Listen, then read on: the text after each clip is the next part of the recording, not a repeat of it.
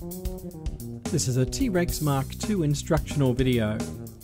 How to increase the air inlet size to increase airflow into your T-Rex Mark II.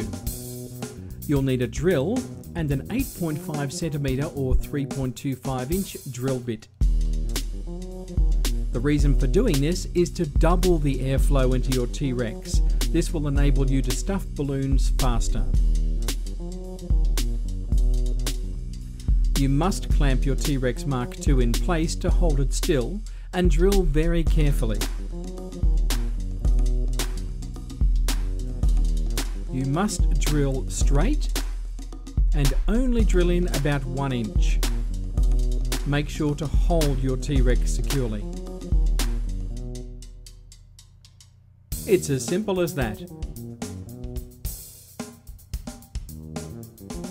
You will now have double the amount of air going into your T-Rex Mark II to enable you to stuff balloons much faster.